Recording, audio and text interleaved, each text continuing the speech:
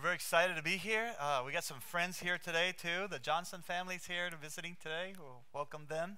I, I brought my own gang in case not, you guys don't collaborate. You know, you know. So I told them to laugh at all the jokes and everything. So, but I'm excited to be here. Actually, we're going to start out a little bit different today. Before I uh, before I preach, uh, my daughters are going to sing today, and uh, they're they can come up and start getting ready for that. Uh, well, we do a little trivia about Venezuela and uh, to see how much you know about Venezuela. And some of you guys know some stuff, and some of you don't. So we're going to do real quick. We got a few. Uh, a few images here that I want to share with you. So this is uh, the bills in Venezuela. Uh, the, during the, the years that we've been there, they've changed a lot, the, beer, the bills. So it started when we first got there, like the one over here on the bottom left. There's a 2, a 5, a 10, a 20, a 50, a 100. So the question, question is, how much is $1 worth? Is it worth this block of money down here on the left, bottom left. The next one we're going to go top right. It goes to 1,000, 2,000, 5,000, 10,000, 20,000. So uh, do you think $1 is worth that? On the one on the, on the left is 10,000, 20,000, 50,000. And the bottom right is 20,000, 500,000, and 1 million. So how much is $1 worth? Which one of those you think is $1 worth? Bottom, right, top right, left right? Huh? Any ideas? I'll give you a clue. None of them. Uh, it's actually four million right now for one dollar. So you'd have to put them all together. It still wouldn't make four million. So it's uh, the, the economy in Venezuela is just so crazy that uh, inflation was about a million percent for two years in a row uh, in 2019 in 2018. So that was crazy. And uh, so it's hard uh, keeping up with the money, so they add zeros all the time. But in October 1st, they're going to take away six zeros. So 4 million, they'll take away, you know, the, the, the 1 million will be one bolivar instead. So uh, it'll take four bolivares for a dollar at that time. And then next week, it'll probably be more. So uh, that's kind of a little bit of economy of Venezuela. Let's go to the second trivia. Okay, what do we got here? Okay. Uh, this is uh, some of the local birds. Which one of these is not local in Caracas? You're probably thinking the Moana bird, right? The Disney one. Yeah, that's, that's right. But uh, yeah, we have a lot of pigeons. The bottom left one is called a turpial, and it's you see them everywhere. It's the national bird of Venezuela. But the top left one is a macaw. I don't know if you can tell by the angle, but they invaded the city, and even though uh, they don't have natural predators there, so and they live for like 60 years or more, so they can be around for a while. So there's a ton of macaws in the city, and uh, people feed them. So they come to people's balconies like that, and people give them bananas, give them sunflower seeds. They love sunflower seeds, and they'll come there like clock every day to your window if you feed them, and you'll have you'll have them lined up like that, a bunch of them. They're beautiful animals and we have them flying all over Caracas, which is strange, but uh, they're supposed to be in the jungle somewhere, but they're not. So this is kind of cool thing in Venezuela. Live in Venezuela, see these animals just free. Sandra had two of these in her house as a pet growing up, and uh, they used to attack me when I was there, but they didn't like me as much. But yeah, they got a big beak. You want to stay away from them. So. Um, Next trivia, let's see what else we got. Do we have another one? Okay, so there's lines for everything. Uh, my wife says that Caracas is known for the country of the lines. You make line for everything. And this is just a, a little example of it. Uh, the top left is uh, it's vaccination. People are in this gym. The whole gym is full. They have a little space between each person, but uh, this is for people getting vaccinated. So if you want to get vaccinated, my brother-in-law was in. He took this picture. You, he didn't do a good job. He took a picture of the gym most of all, but uh, but really, he spent there 12 hours that day, and he was supposed to get his vaccination that day. He was on a list, and they never made it to his number. He had to come back the second day. So 12 hours in line to get vaccinated. So top right, that's uh, people standing in line for food. The government likes to give out free food especially when the, there is no food because they ran out most of the companies that produce the food, so now they have to import it. So when they do import it and bring it in, they try to sell it a little bit cheaper, and people will line up like crazy like that. That isn't, that's not even a line. I don't know what that is. It's a mob uh, to get into the supermarket. That uh, so. Uh, bottom left is gasoline. I probably you probably heard this, but gasoline in Venezuela for the last 30 years is free. It's been free. I don't pay you know, but less than a penny for gas to fill up my tank of gas. So it's free, except uh, that uh, because of the situation in Venezuela now, uh, the oil production has stopped and they're not producing the, uh, the gas anymore. They don't have all the chemicals. There's like a sanction on Venezuela right now. So there is no gas. There's a little bit of gas coming from Iran. So people are making lines like this that are up to 24 hours. And you can only see one block there, but it can go up to about 10, 12 miles. If you're outside of Caracas, it could be miles long and days for you to get gas. So you can still get it free, but pretty much free, but you have to make that line. Now, bottom right is people, what are they doing? Can you recognize? They're selling tubs of water. A, no, they're collecting water because they're, they haven't had water in probably for days. So a, a, truck will come by with water and they'll fill it up. The same kind of trucks that spray water on the trees and stuff like that. They'll come in, people will bring their containers. I don't know how they get the containers back to their houses, but uh, they fill them up during the week. No, so the question is, which one of these at the present is not happening? Which one of these lines I do not have to do right now? Anybody want to guess? Nobody. They're all scared about missing. Which top right. That's right. That is correct. Were you in the first sermon? Somebody told you, right? Okay, so he was here earlier. No. Yeah, top right. Why isn't there lines at the, uh, the supermarket anymore? Because the government isn't giving free food anymore at the supermarket. So there's no lines for that. so everything else, we're still making lines to do. We're, uh, we're lucky. We get two days uh, water two days a week. Uh, so we're lucky. Some people don't get it for weeks at all. So that's a little trivia of uh, stuff that's going on. Uh, where are my daughters? Are they around here? Oh, there they are. You're supposed to be up here getting ready to sing. So they're going to sing to you. Um, and if you guys have more questions, I'll be at the end of the service uh, answering some questions. We also have uh, prayer cards that you guys can. Uh, if you want one, if you want to sign up for a newsletter, to get the updates monthly.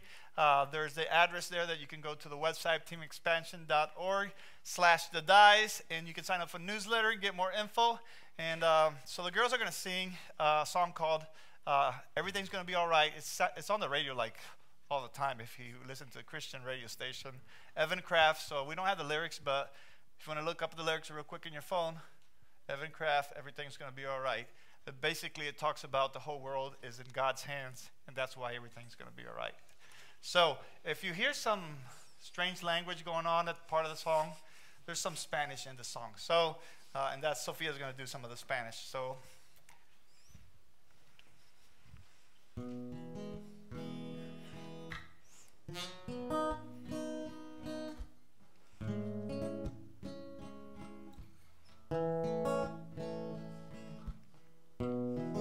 There's a name that can silence every fear. There's a love that embraces the heartache, the pain, and the tears. Through my faith and my doubting, I know one thing for sure His word promise secure. Todo va a estar bien, everything will be alright. The whole world's in his hands.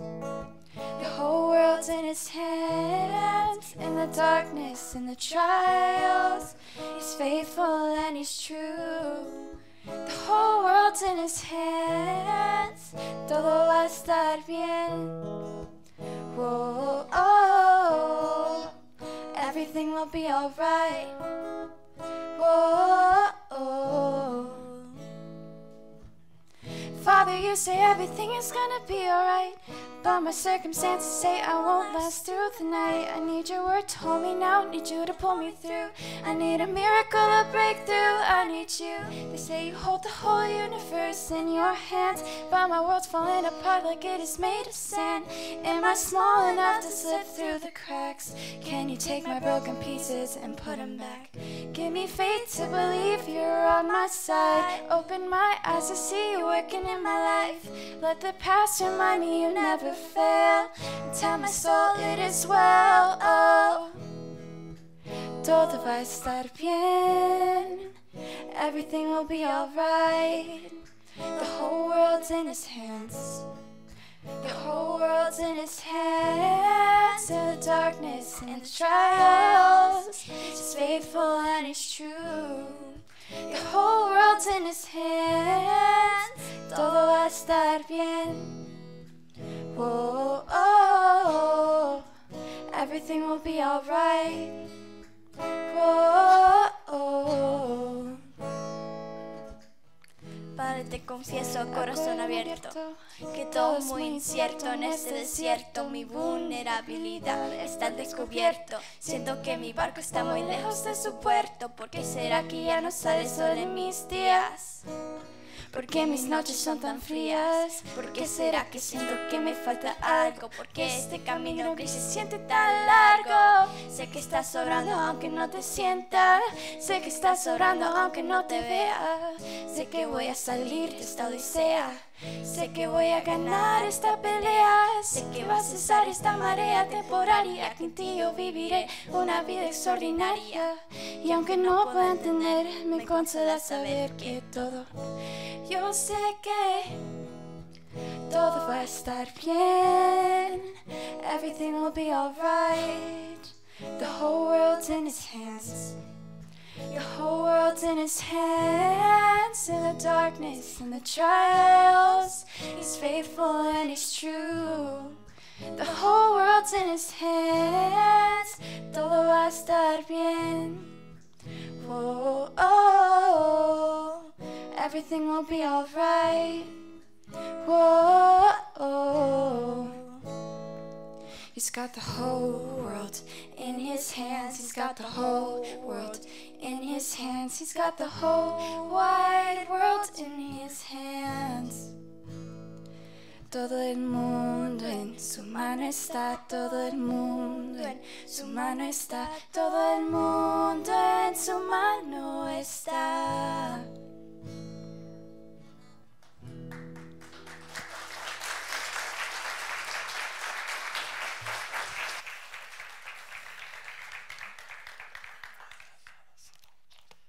So now you know why I didn't sing with them. I can't do that rap part. It's too fast. I mean, uh, if you were trying to keep up with the Spanish, I don't know, with that song, that's not easy.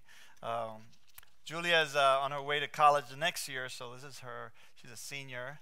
And actually, she's recording her first single. She's a songwriter, too, which is awesome. And she's recording her first single next week. So before we go to Venezuela, we're stopping in Miami, and uh, she's going to finish something up there. And uh, so we're excited about that. And uh, Sophia just turned 11, so she's got a long way to go yet. Keep her home for a while. We're excited to be here and uh, share the, the word with you. I got Steve Walker's Bible here, so you know the sermon's going to be good, right? So he's had this Bible, he told me, since, uh, since we were in college, and he taught us from this Bible. So hopefully this will be good. Uh, I'm excited to be here and share the, a little bit about uh, the message today. We're talking about the, um, the miracle of the feeding of the 5,000, and it's, uh, you can find it. It's the only miracle that's actually in all four gospels so you can look you can find it in any of the gospel did you know that i didn't know that until last year uh, it's the only miracle of all the miracles that all four of them like uh, record and I thought, well, that, that means it's, a, it's an important miracle, so we should study this. So I'm glad that this week is uh, in this series that we've been studying some of the life of Jesus and his, and his teachings that I got to teach on this. Because not only am I glad that this is a cool miracle, but it has exactly, um, it's going to talk about what I want to talk about, anyways. And you probably read this story many, many times, and there's a lot of applications for this story that are good, but I'm going to uh, take one application of it that I think applies to the theme of today. And um, so let's pray before we get started because I already preached. I'm not used to preaching twice in a row in Venezuela. So I think I already said all this. So I'm like, did I already say this? And I don't use notes, so that's very confusing. So here we go. Let's pray. Dear God, just thank you for the opportunity to be here. Thank you for the girls singing and uh, ministering through the uh, song that you that we know that the whole world's in your hands. Despite all the chaos that we know is going on in um, places like Afghanistan, Haiti, Venezuela, and even the pandemic here in the, all parts of the world, Lord that you are in control and you have a plan, Lord, and that you are working in the midst of all these problems. I pray that you will also open our hearts for the message today so that we can um, uh, listen to it and apply it to our lives. Uh, thank you for all the people that are visiting uh, today. Uh, bless them too. In your name we pray. Amen.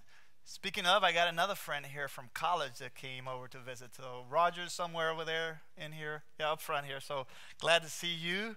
I haven't seen him probably in a lot, many years. We played soccer together, so that was that was fun. Uh, so uh, this summer, um, the one question I want you guys kind of be thinking about today is, what are you hungry for? Because we're talking about feeding of the 5,000, you know. So, what are you hungry for? These people were not just hungry for food, which is what the story is about, right? But they were actually hungry for Jesus. Because if you read the story, to start out the story, uh, Jesus has done, is done teaching and he says, okay, it's time for us to go take a break. He's going to take his disciples and they're going to go to a solitary place to be on their own, to recuperate, you know, to eat or whatever. And these people, and they'll get on this boat and the people will follow from the shore to there. So if you want to read with me, I, we can like pick up... Uh, you can read from Matthew or Mark or Luke or John, but I'm reading from Mark right now. Uh, Mark chapter 6.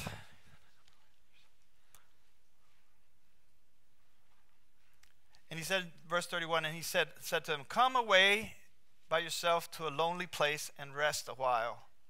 For there were many people coming and going, and they didn't even have time to eat. And they went away on the boat to a lonely place by themselves.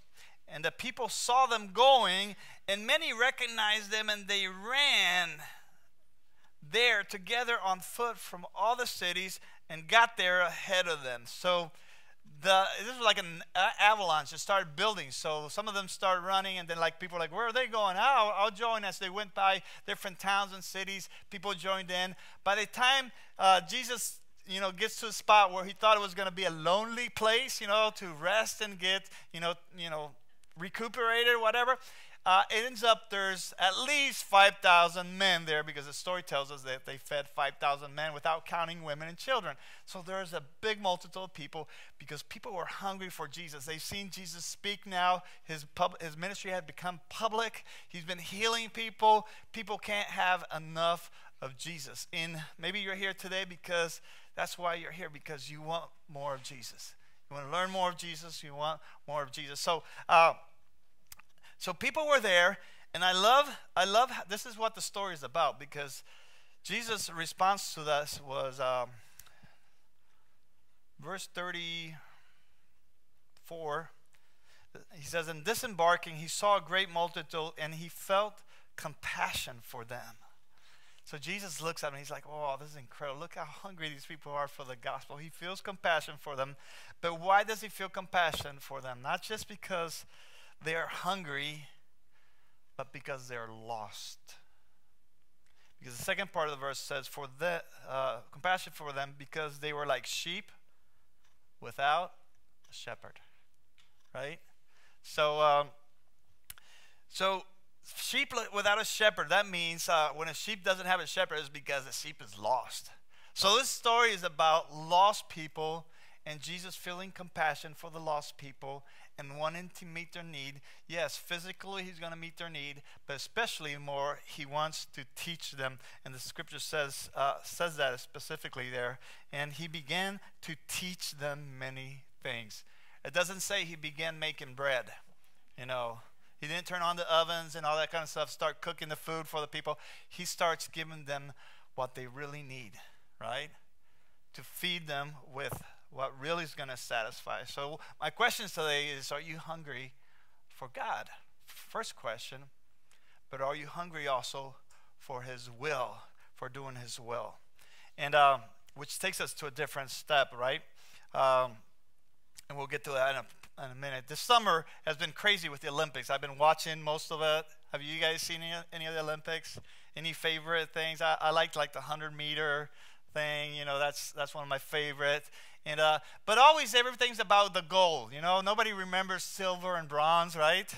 Everybody, who wins the gold? And, and the difference sometimes it's like a split second, like a nose, whatever, in, in, in winning some of these races. It's so close. I don't even, they need technology to see that. But only the person that gets the gold gets all the glory, right? So I was watching, there's this little app that tells you who, what countries have all the medals. And I was like, the only thing I cared about, because I didn't see a lot of the, of the Olympics, is like, who got more gold? You know, which country got more medals and more gold? And the United States is always fighting for that. And they're always in the top three, you know. But I was like, this year it was like we're in the second place or third place during the whole thing, at least with the gold. And China was beating us for 10 gold, 15 golds more, not gold, that's soccer, but gold uh, medals. And I was like, oh, can we catch him? So it came down to the last day, and I was preaching that Sunday, actually, doing this same sermon. And I was like, you know, right now we're waiting. In a few minutes, there's going to be three more chances for the U.S. to win uh, gold, and we're behind by two. So we can either tie it or lose or go ahead. At the end of the sermon, we had one. It was thanks to my sermon, of course. Everybody started praying in the service.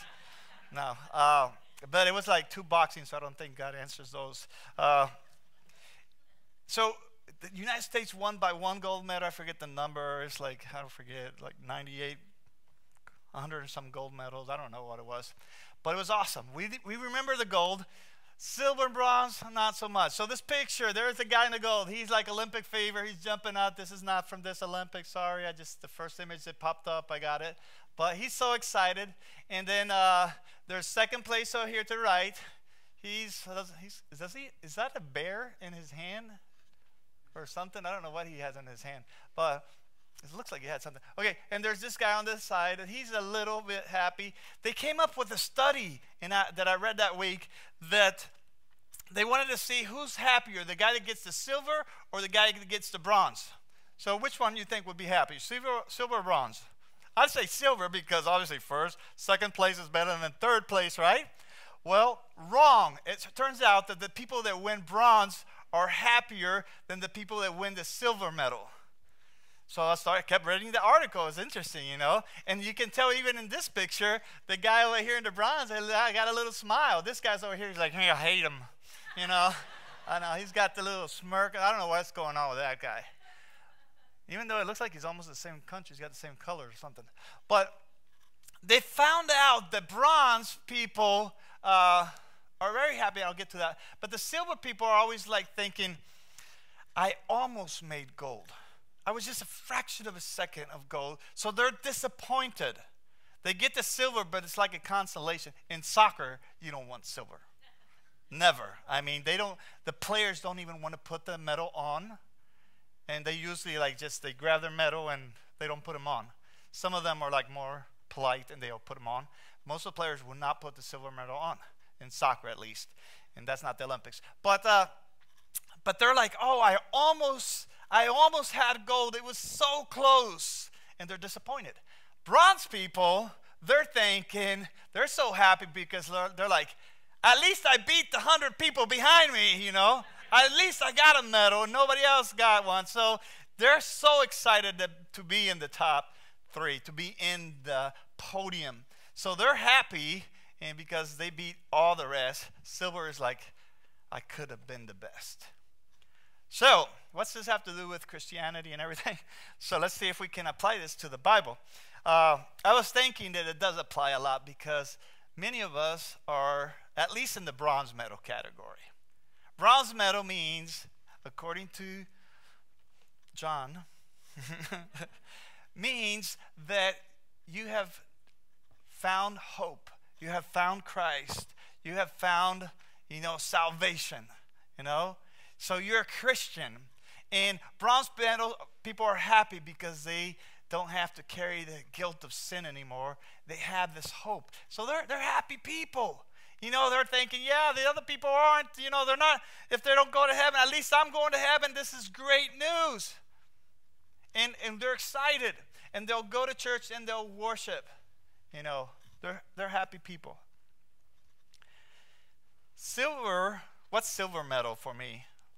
I think silver medal is the people that are not satisfied with bronze, they want to go for gold. And there are people that will get involved in church. they will serve in church, they will lead in church, whether it's in the worship or it's either in the kids ministry, any kind of ministry. I mean, they're serving in church, leadership, even preaching, because they want they want to give their best.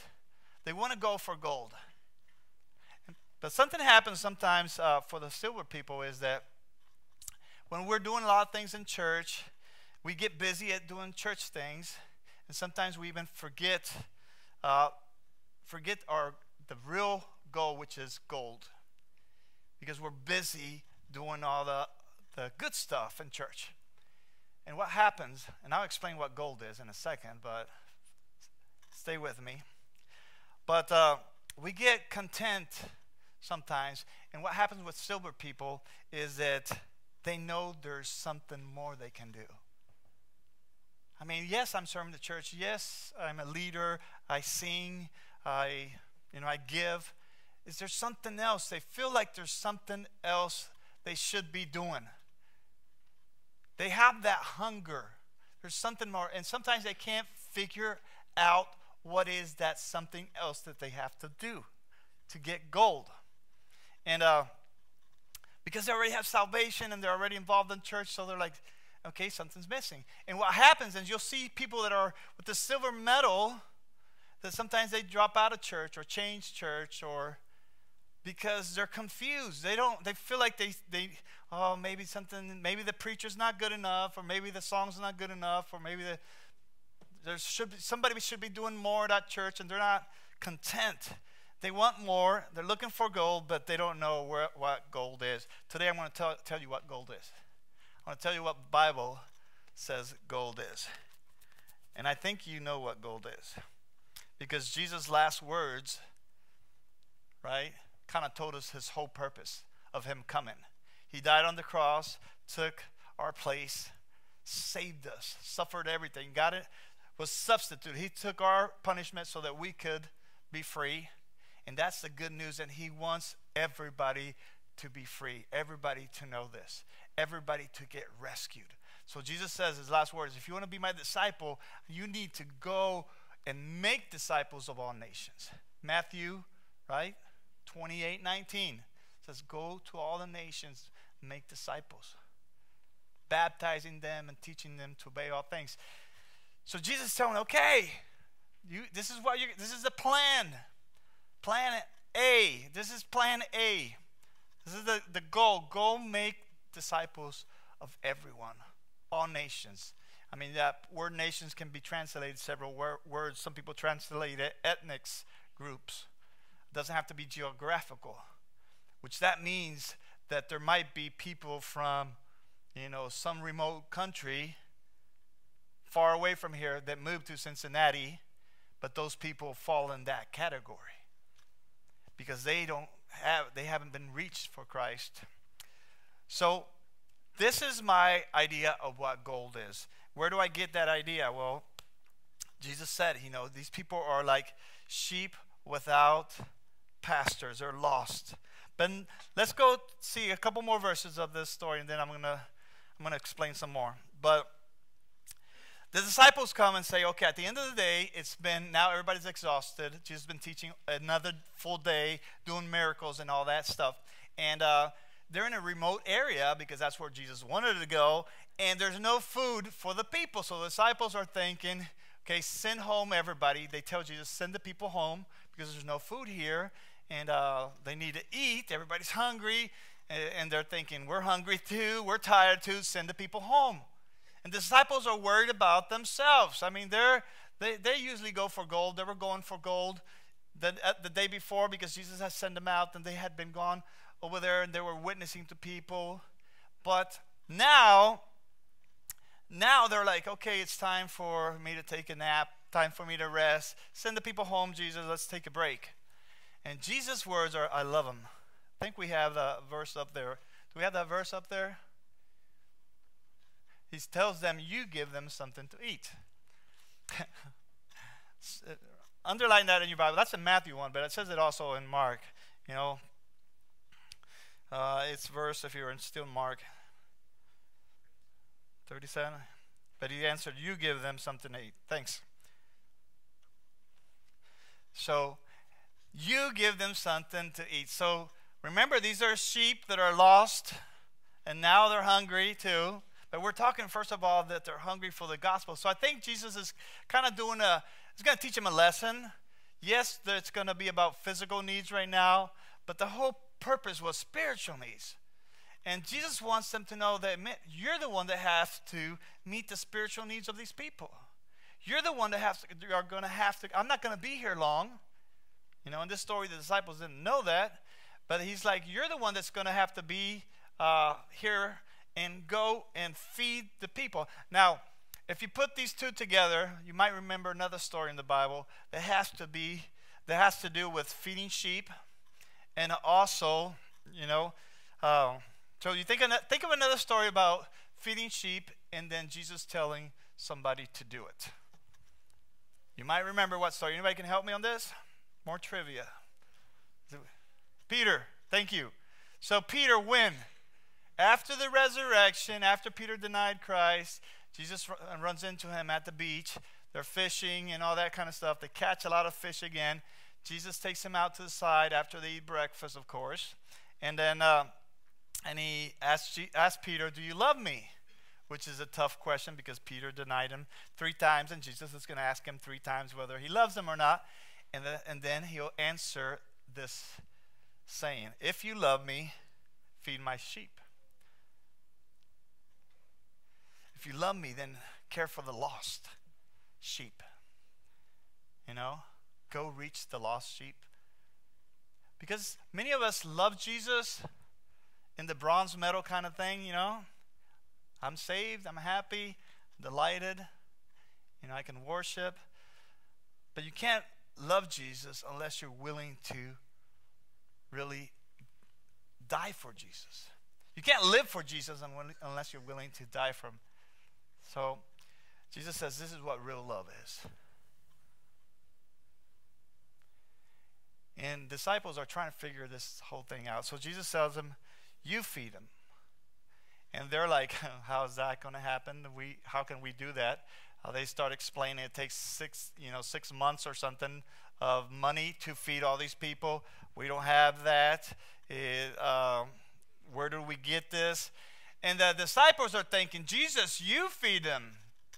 You're the miracle worker, right? You can do the miracle. You can do something. You feed them. But Jesus is like, no, you feed them. So who ends up feeding them? so the next question that Jesus asked him. So first of all, we got to get this straight. God wants us. God wants to use us to feed the people. And not just, I'm not talking about physically here, even though the story is about that apparently. It's about feeding them spiritually and reaching the lost. So he asked him another question. He, he says, you know, he says, um, what verse are we on? How many loaves do you have? 38, thanks. How many loaves do you have? So Jesus starts asking him, What is it? So what do you have? You know, because they're saying we don't have anything. Jesus, do something. We, we can't do anything. But Jesus, no, wait, wait, what? You're focused on the wrong thing. What do you mean you don't have? How many do you have? And they scramble and they find five loaves and two fishes. And they still obviously think that's not enough, right? So uh, it's like, yeah, we, we have this, but, you know, that won't even feed us 12, you know, plus Jesus, 13. So this is not going to feed a lot of people we don't have much. So they're thinking about how much they, they what they don't have. And Jesus' question is not what they don't have, is what they do have. So how much do you have? Because Jesus can take your smallest thing and make something incredible out of it, right? And they're like, they're still not getting it, you know. So like, yeah, we got five or whatever. He's like, that, that's, that's more than enough. okay, give me that. So he grabs those five loaves and two fishes, and he feeds 5,000 people, and 12 baskets are left full for the disciples. They'll have, they'll have leftovers for a few days, right? God does something incredible. And, and, but what did it take? It took them giving the little that they have. And my question for us today is what, what is it that you have? Because we tend to focus on what we don't have. So I don't have time. You know, uh, I don't have the age. I'm either too old, retired, right, or too young. I don't have enough experience, or, you know, can't even leave my home without permission from my parents. You know, we have a lot of things that we don't have.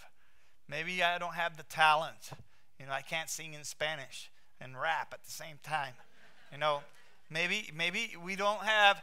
You know, there's a lot of uh, things that we don't have, and that's and God knows that we don't have a lot of things. He didn't make us like uh, to have every talent and every resource in the world.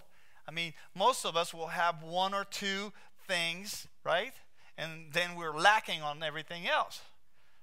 So, what is it that you do have? Because God wants focus on that. Because God wants to use that that you do have, even though it's small, whatever it is. You know, it may not be a much, but He wants to do something great at.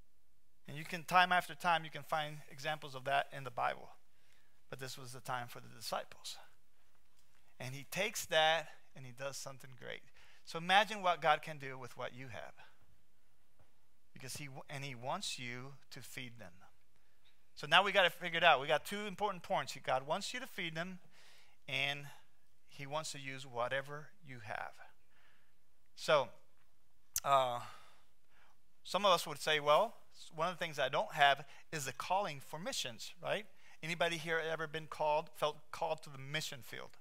Anybody here? No? I have, you know, back 25 years ago, Bible college. Which is funny because did I just read Matthew 28, right? 19. What's it say there again? Go where? To all nations, to all people, to all ethnia, to all. Go to those people and what? Make disciples. Don't go on vacation. Don't go to the beach in Thailand and Hawaii and all. That's not what the going is about. It's going to make disciples. Whether it is geographically far away or it might be close to you, close to your house. Might be through the internet. There's no limits to this. Remember? Oh, but I can't go. Well, there's the internet. Right? Oh, I can't go to that country, but there's there you got neighbors that are from that country. So God kind of makes it easy on us. What is it that you do have? And let's work with that. You know, don't, no excuses. So everybody should have raised their hand when they said, anybody been called to the mission field? But we think mission field only like uh, overseas mission field or whatever. But every one of us is called. This is the great commission, not the great suggestion, right? Every one of us have been called to reach the nations, especially the people that don't have. I mean, that don't have the opportunity because of language barriers, because of cultural barriers in the Middle East, because they're in a country where it's illegal, like the Taliban's in control, and they don't have, it's illegal to be a Christian. So those people don't have access to that. So those are people that are most lost, right? They're more lost than anybody else. Are they putting, oh, okay. There is a picture of uh, some people in Afghanistan. There's a lot of, been a lot of pictures this week, right? The stuff in our hearts are like beating for them, for them you know. Um, I like this one. Uh, this is one of my favorites. The people that did get rescued. You know, some of the lucky ones that were able to make it on the plane. There's not much room there, right, to sit, or I, I don't think there there's chairs in those kind of planes. You know, but they're crammed in there. I don't know if they can fit anymore, unless they start stacking them. But it's it's sad how tight they are, but this is a and they all look kind of scared. They don't know what I, I mean, I can't really tell their expression. But the good news is that there's hope for these people, right? They're getting out of harm's way. But you guys have seen the other picture. I don't even have to show you the other pictures of the ones that didn't make it onto the plane, right? all the people that are trying to get out because the Taliban's coming in, and now a lot of them, these people are Christians and they have liberties that they didn't have before, and all that's going to be taken away again from them. You guys know the story. And why is this happening? Well, I'm not, I'll, I'll try not to get political here because I know that's not the point, but I need to make it because it'll lead me to the next point. You know, one of the reasons this is happening is because the U.S. pulled out its troops, right? As soon as they pulled out the troops, the Taliban moved in, right? So we pulled out the troops, the help. We can't protect them anymore, so the enemy moved in. My point is here that the church has the same role. When the church decides to pull away from reaching the nations and helping the people, we do the same thing that the government's doing, right? We're leaving the people defenseless against the enemy. And we're telling them, you know, fend for yourself. And I'm worried about as a church today. Because this situation will happen here or happen another politically, it will happen anywhere. It's been happening in Venezuela for a long time, waiting for help. No, no help has come, you know, to get away the dictatorship we have there. But so this is something that's going to keep going on all over the world. But the church, this is even worse because the church has the same role. And when the church decides that to settle for bronze, settle for going to church and singing and worshiping and whatever, and they think that's the greatest thing, and we abandon the people that are lost, then we're no better. We're actually worse because the Bible says that we're supposed to be the salt of the earth. We're supposed to be bring healing, right? That's what salt is, preserves know, from corruption. Uh, we're supposed to be the light of the world, right? We're supposed to shine hope to people. And when the churches doesn't do their job, then the nations are left on their own, and the enemy moves in.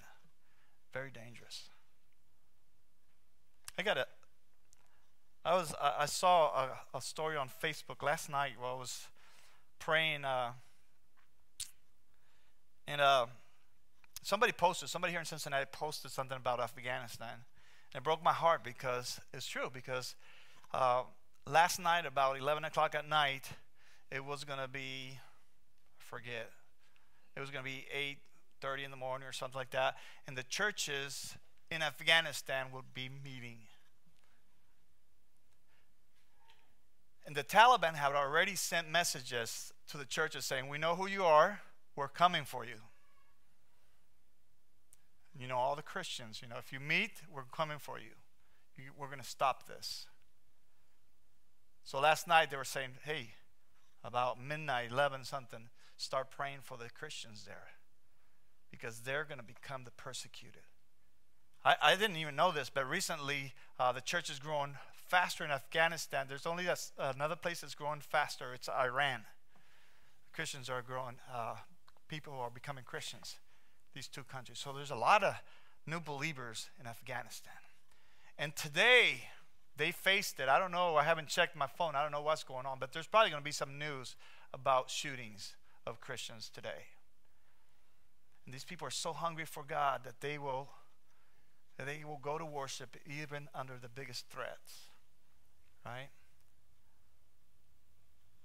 And we, we can't just sit around and not do anything. We got to do something. These people are committed to for their faith. They're willing to give their life. What are you willing to give? And God's not asking much. You know, it's like, what do you have to give?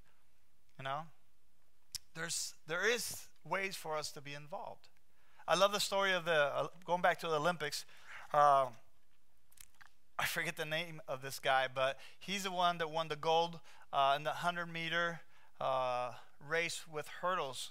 And uh, the U.S. guy, uh, Holloway or something like that, was, was the favorite and had actually beat him in the sem- semifinals or something like that, or in the qualifying. And, but it, it was an upset. He, he beat the American guy, got number one, got the gold medal. And what's so special about this? Well, it turns out that he almost didn't win the medal because that day he took the wrong bus to the stadium to compete. And he ended up going in the wrong direction instead of going to the, where the track and field was. He read the wrong sign and ended up going to the opposite side of the city. And by the time he figured out that he was lost, right, he, uh, he's like, well, the only thing I can take, take the bus back to the villa and from the villa take the right bus, and that I'm not going to make it for the warm ups and the whatever. And uh, he was all worried. So he asked this young lady for directions, first of what he should do. And he turns out that this uh, young lady uh, not only told him how to get back, but she said, You know what? Uh, I'll pay for a cab so you can actually get there directly and get there on time. He didn't have any cash on him. You know, they don't usually carry cash, stuff like that. He didn't have money for a taxi. So this girl, stranger, paid for his cab ride. He made it on time. He won the gold medal. And if you look him up on the Instagram, it would be easier if I told him your na- his name, but somebody can look it up. But um, if you look him up, I did uh, last night actually. There's a really cool video of him explaining all this. And he says uh, he's, he's doing a, a, a selfie video. And he says, I'm on my way back to, this was after winning the gold medal. I'm on my way back to see that girl that gave me the money for the taxi to thank her because it's only because of her that I could win a gold medal today. So he got on the bus and he's doing the, the video and stuff. He's on the way back. He runs into the girl. The girl recognizes him and she didn't know he'd won anything, you know. and he's like, I want, I want to show you something. I want to give you, you know. And uh, he pulls out his gold medal. He's like, Look, I won this thanks to you today because you helped me. She was a good Samaritan, right? And uh, he gave her a T-shirt. He gave her his money back from the taxi too. You know, he can afford it now. He can sell that gold medal. Uh, but he, it was it was cool. I liked it, and the, and the girl was like overwhelmed. Uh, I did realize that also that uh, she got an invitation from Jamaica uh, to tour the con- to tour, tour Jamaica for free or whatever. So the tourism in Jamaica, the, whatever the president invited her because of her act. And this is I love this because um, a lot of the work that needs to be done cannot be done unless common people like you and me get involved and and give do something, do a little, give a little go a little out of your way to make sure that people, the lost, get to the right place. Right? It doesn't take much. This girl didn't even know what she was doing. She didn't know that this guy even had a chance to win gold. She's like, this is a loser, probably, you know, what a this is a waste of money. But it was a great investment, right, for her and her vacation to Jamaica now. So uh, and everybody will remember her story. Small things, small thing that she did. And that can be us. We can do small things, including just something as simple as when you give offering to the church, right? When you give your offerings every Sunday. Sometimes you're wondering, like, where's that money going to? You know, is this going to be spent correctly or not? Or is it just going to be wasted? Is Ben going to buy a steak with that or what? You know? Ben's big enough, you know, he eats a lot of steak. You're wondering that, but let me tell you that, you know, part of your money goes to the mission field and to evangelism and outreaches, like people like us in Venezuela. So when you give, and I need, you need to know this, that you're actually helping people win gold medals. You know, you're helping people find, get on that airplane. You're helping people find hope. So don't be like, oh, I have to give this money or this hurts or whatever. Be excited. It's like, yes, this is for, you never know what God's going to do with that. Maybe God's going to multiply it. You know? It's funny because I, I heard that illust- an illust- uh, pastor give an illustration about the, the 5,000, uh, how Jesus did the miracle. And uh, I always imagined, you know, Jesus was like, okay, everybody close their eyes. I'm going to pray to the Father, and when you open their eyes, something's going to happen. So everybody close their eyes, and then I know that you know Peter and some of them are peeking or whatever, and uh, and God's over there. You know, there's an image of you know He's praying there, and and uh, you can see Peter peeking there. I knew it. and uh, all of a sudden, I counted three. Everybody opened their eyes, and there's you know food everywhere, like a banquet. You know, like that's how I imagined it. But I, I like the way this preacher told it. He said that the scripture is not clear, but it says that he told the, the disciples to give food to the people. And the actual miracle happens when, uh, according to him, is when people they start giving out the food. There was enough food for everybody. So apparently they start breaking the pieces of bread that they had, and as they keep breaking it, it never runs out until everybody has enough, and then they still breaking. They stop breaking the bread because, you know, they fill up 12 baskets full. I don't know if it happened like that, or I like more the other one, like, you know, that, that one. But if it's the other way, imagine if the disciple said, I'm not going to hand out that. I'm not going to be embarrassed. You know, how small do I have to break this? It'll be like the communion cup things. Those things are like put in your mouth and disappears, right? I don't know how. They're probably, but they obeyed. They went out and started handing out the food, you know. And all of a sudden, there's still, there's still left for one more, one more. And that's how it went, right? So, what can God do with yours? If you obey Him, if you let Him use you. No more excuses how young you are, how old you are, how busy you are, you know, or I haven't been called to do this because we have. You know? There's a. I got another image, right? Um, you guys probably seen this image too. It's a, it's an image of Florida building. Remember this? Beginning of the summer?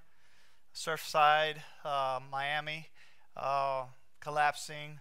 A hundred some people were supposed to be missing. Um, I started following that news. I was so desperate. I was like, I just hope they, you know, they start finding, rescuing people from underneath the, all that rubble and all that stuff. And so every day I was checking the news, see who got rescued, and you know, day one nobody, day two nobody. It's like, whoa, how many days can somebody go with, you know, being trapped down there if they're injured or whatever? Day three, nothing. Finally, at the end of the day, of the week, I think they gave up. Right? They hadn't rescued anybody, and um, and they decided to tear down the rest of the building. And finally, they just got the bodies out, you know, one by one. Ninety-eight people, right, uh, died in that in that event. So I was at my friend's uh, in Indianapolis, Todd holdsworth Some of you guys might know, remember him from college, and. Uh, we were talking about this story, you know, how sad this was, and and he said, "Oh yeah, did you, did you see the picture?" And I was like, "Yeah, I've seen a lot of pictures. Which one in particular?" He's like, "Look at this one, the picture from above." I was like, "Yep, yeah, it's not much different from above from below. I mean, what am I looking at?" And I didn't get it. And uh, he said, "He said, did you see the name of where this happened?" Yes, yeah, Surfside. Does that ring any bell? I was like, "Nope." Can you help me? I'm still trying to figure out this puzzle. And he's like, Okay, look at that building next door. He's like, That's the building we stayed out five years ago when we went on vacation. And that's the room you stayed on, that balcony that looked over at this building. And that's the pool I jumped in with my camera, and my camera died. I remember that. So, uh, so yes, I remember the building. And I remember looking out that balcony thinking, it's in the way I can't see the beach. And then I was thinking, well, these people live close to the beach. It's nice to live there. You know, they live right in front of the beach. It's really cool. And uh, and something I usually do, I pray for people around me. Like I, I pray. That's like, Lord, I pray for these people that live around here. You will reach them, touch them. Something I usually do. I never had any idea that those people in front of me this would happen five years later, yeah, or something like that. I don't remember the exact date, but I, I didn't know that. And if I did, I'd probably I'd do something right. I'd put flyers. They'd think I'd crazy. How like how would you know this? Are you in architecture? Do you, do you know anything? They wouldn't believe me, but I still would try to do something because I know the future, back to the future, whatever. Anyways, probably nobody would believe me, but I still would try. Now, the interesting thing is that with Christianity, we do know the future. We know the buildings are collapsing around us. The world is coming to an end. Jesus is coming back. You know, he's going to save those who put his trust in him, those who hear the good news, those that are found. We know that, and we need to make sure people hear about it we can do something and not wait until it happens. So that's that that is a that's a difference, you know? What are you doing for that? It, it can be a small thing. Doesn't have to be much. On my uh, this week, a friend of mine from Venezuela, uh, he lives in Cincinnati now, uh, uh was flying in, and um, I went to pick him up at the airport to take him. He lives here now in Cincinnati, and uh, I went to take him to to his house and uh, drop him off. Brett was with me; he's here today, and I actually invited my friend to come to church. Is he here? No. Good, I can tell the story, story then. so, our plan, Brett and my friend, my friend's not a Christian, right? So he's been to the church a few times, but we haven't had the chance to really talk to him about Christ and everything. So our plan was we'd go pick him up at the airport. It's like 40 minutes away. We get to talk to him the whole way back. So we're like praying and getting all ready. Pick him up, put him in the car, and uh, a little. We talked about some other stuff, And Okay, now it's time. We change the direction. We start talking about the gospel, you know, about this need for him to come to the Lord. And, uh, and I was worried because I know I need about an hour, and the ride's only 40 minutes, and I'm barely going to get to the good stuff when I get there before I drop him off.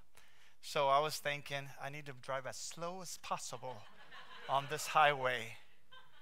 So I've never driven that slow. I'm usually the one, you know, pushing the speed limit, you know. I was going, what was I going? Brett was like, man, we're going to get pulled over because we're going so slow, you know. So we're preaching. He's like, pray, he's next to me praying. It's all in Spanish, everything. So, um, and we're, we're, driving. I'm telling him the gospel. And, and, I, I, keep asking Brett, how many exits do we have? And he like keep asking him. He's like, we got three, two exit. And I was like, oh man, I need to slow down even more. I'm not going to make it. So, um, a cool thing happened. It started pouring down rain. And I'm talking so hard that I had to slow down even more. You know that thing you can't see anything in front? I was like, thank you, Lord, for this is a good excuse. The kid's going to start wondering, why are you going so slow? You know, he was going to start catching on to what was going on here, that we were trying to evangelize him.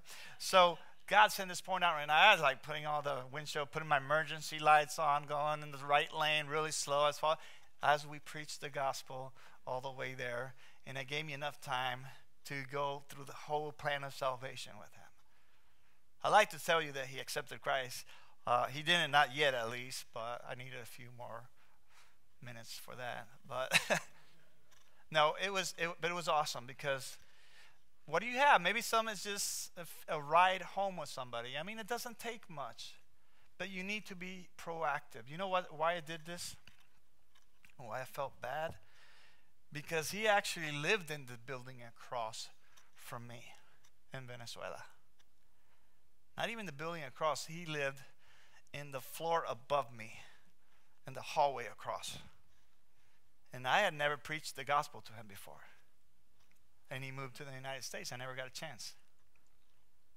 And if something happened to him, right? Died COVID or earthquake or something on the airplane, who knows, any disaster, how would I feel knowing that he was my neighbor, he was in front of me, and I never, you know, at least gave him the whole plan of salvation, gave him a chance, a fighting chance.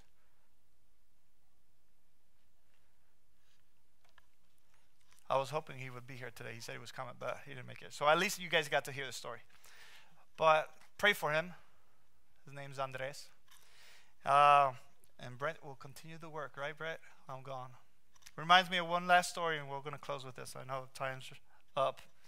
Um, back in, like, I think it was Syria, um, about 25 years ago, there was an earthquake like the one in Haiti. 25,000 people died that day. And there was this father, it was in the middle of the day, school was in session, and his father had sent his son to school that day. And uh, and he ran to school. And when he get to school, he saw the place was flattened. I mean, there's no probably no chance of anybody surviving. There wasn't even people looking because all the rescues are scrambling to all the different buildings in the city, and uh, so he desperately he started moving rocks the little bit he could, and he, he started going out uh, for hours and hours and the other parents were crying for their kids and he finally parents are like can you stop it you're just making us You're giving us false hope. Stop doing that. You know, there's, there's nothing to do. You need to mourn. And the parent said he wasn't going to do that because he had promised his son time after time that any time his son needed him, he would be there for him. And this time is, if, if he ever needed him, it was this time. So he kept digging and throwing rocks this way and that way. He was 10 hours digging, 12 hours, 24 hours digging. No hope. 30 hours digging, 32, 34, 36 hours, 38 hours. When he's about to give up, he moves a big stone. And underneath that stone, he sees there's like a little hole. Uh, and he screams down that hole. He's like, Osman, Osman, can you hear me? That's the name of his son. And a voice comes back saying, Yes, Dad, I hear you. I told my friends that you would come for me because you said you'd always be here for me, that you would come and rescue us. And they were able to rescue 13 students from that pocket that got, they got saved miraculously in there because this dad did not give up on his promise to do everything to search and rescue his son that was lost. And Jesus has the same passion. He came down to earth to rescue the lost.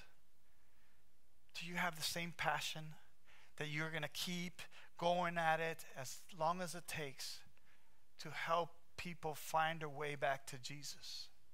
Any way, with any gift that God gives you. And not, not settle for bronze, not settle for silver, settle for gold only. You know how this verse starts? It says, I read it, you probably didn't catch it.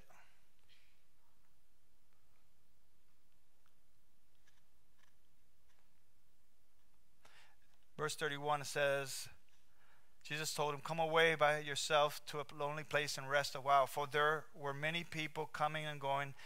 They did not even have time to eat. The disciples had been preaching and they forgot they had to eat. They weren't even hungry because they were doing God's will. And when you're doing God's will, when you're going for gold, you are satisfied. So, what makes you hungry? What satisfies you today? I invite you to try doing this. Try giving anything you can to uh, reaching the lost, whether it's locally, far away. I mean, there is no limit with what God can use. As we pray, as we stand, the, the worship team is going to come forward. And if you haven't made, given your life to the Lord, I mean, this is a good day to do it and say, man, Jesus came and rescued me like that father did not give up. You know, he didn't leave any stone unturned until he found me. And we should have that same passion. If you want to accept Christ today, we invite you to do so as we sing and pray today. God, we thank you for for being our shepherd, Lord, for being that good shepherd that keeps working, that never gives up on us, Lord. And I pray that we will never give up on our friends and our friends and our family, and that you will never, that we will never give up, Lord, of taking the good news, uh, not believe the lies of what little we have, but think, think about what we do have, Lord. Help us be a church that's just committed to seeing the lost rescued. In your name we pray. Amen. Amen. Amen. If you liked what you saw here, go ahead and click on that like button.